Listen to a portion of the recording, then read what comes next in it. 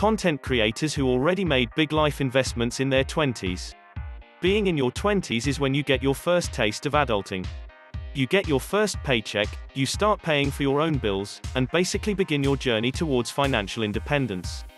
It can be tricky to deal with money smartly, especially if it's something you've never done before when you used to just rely on your parents for these big kid decisions. Admittedly, it's also tempting to spend your hard-earned cash on monthly online sales or temporary pleasure from things you don't necessarily need in life. For these 20-something content creators, however, they've allocated their earnings to investments they can make use of for a very long time.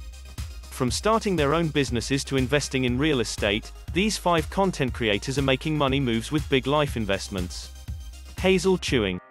At 23, Hazel got to save up around P2 million for her very first big investment, a business venture called 1111 which she took on with her mom. In 2021, she also has her first real estate investment when she bought a piece of land in Tagaytay. Tony Sear.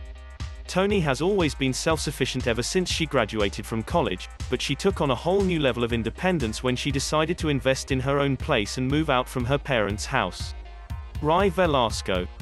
In March 2021, 22-year-old content creator Rai Velasco got to buy her very first car with her own hard-earned money. Rai bought a BMW X1 and even shared the news in a vlog on her channel. Rei Germar. ICYDK, Rei and boyfriend Maji Romulo started a business called By September. It's a local jewelry line that carries locally crafted ABD handmade jewelry with the most hashtag aesthetic designs. Ashley Sandrine Yap. As someone who loves coffee and milk tea, it's a full circle journey for Ashley Sandrine Yap to start her own business related to these two things. In 2020, Ashley shared the news of a special project she's worked on for months, and it's the milk tea and coffee store Southend Brews which currently has one location in Taguig. Thanks for watching. If you liked the video, please hit the like button. If you want to see more videos, hit the subscribe button. And if you have something to say, please leave a comment.